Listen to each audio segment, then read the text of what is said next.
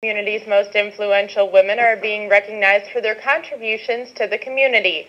It was all part of the annual Women's in Leadership of Central Illinois Conference. The conference recognized several local women for their positive impact in our region. Best-selling author Jane Hight McMurry gave a speech on how women can improve both their personal and professional lives. 85% of the reason that you get a job, keep a job, and advance in a job is not due to academics and technical skills, but due to personal skills. For more information on McMurry and how to get involved with the Women in Leadership of Central Illinois, visit our website at cinewsnow.com.